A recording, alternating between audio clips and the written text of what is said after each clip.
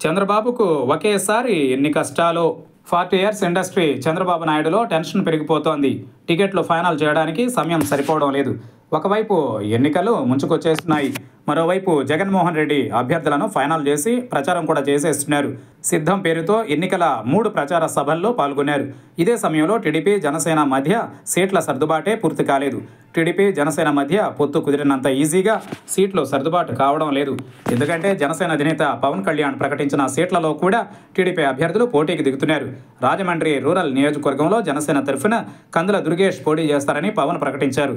అయితే ఇప్పుడు ఆ సీటులో టీడీపీ ఎమ్మెల్యే గోరంట్ల బుచ్చయ్య చౌదరే పోటీ చేయబోతున్నారట. అందుకనే కందులను పవన్ నెడదవోలులో పోటీ చేయమని అడిగారు. అయితే అక్కడి తమ్ముళ్ళు కందులను తీవ్రంగా వ్యతిరేకిస్తున్నారు.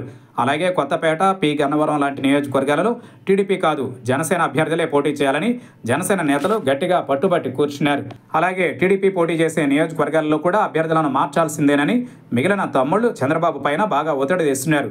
ఇలాంటి అయోమయాలు రెండు పార్టీల్లోనూ బాగా పెరిగిపోతున్నాయి.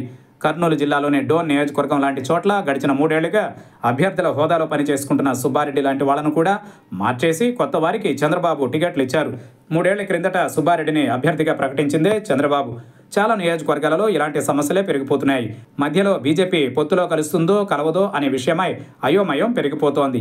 ఇచ్చిన టికెట్లపై గొడవలు ఇవ్వాల్సిన టికెట్ల కోసం ఒత్తిళ్ళు పొత్తుపై ఏమీ మాట్లాడని బీజేపీ అగ్రనేతలు మొత్తానికి అన్నిటి మధ్య చంద్రబాబులో టెన్షన్ పెరిగిపోతోందని పార్టీ వర్గాల టాక్. పార్టీలో నేతలకు సమాధానం చెప్పలేక టికెట్ల కోసం పోటీ పడుతున్న సీనియర్లను సర్దుబాటు చేయలేక జనసేన నుండి పెరిగిపోతున్న వ్యతిరేకతను తట్టుకోలేకపోతున్నా టీడీపీ కూటమికి నూట అరవై సీట్లు రావడం ఖాయమని జగన్ చిత్తుగా ఓడిపోవడం తథ్యమని చెప్పుకుని తృప్తి పడిపోతున్నారు